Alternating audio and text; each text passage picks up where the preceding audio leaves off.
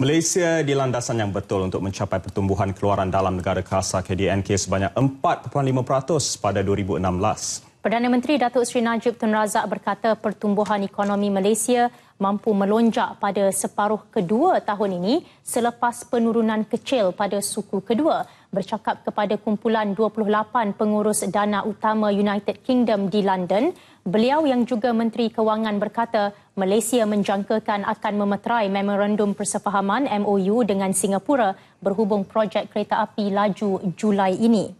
Difahamkan MOU itu akan ditandatangani ketika mengadakan mesyuarat tahunannya dengan Perdana Menteri Singapura Lee Hsien Loong. MOU itu akan membuka jalan kepada kedua-dua pihak untuk memeterai perjanjian penuh dalam melaksanakan projek yang menelan belanja berbilion ringgit itu. Apabila siap kelak, tempoh perjalanan kereta api kelajuan tinggi itu hanya mengambil masa 90 minit menghubungkan Kuala Lumpur dan Singapura.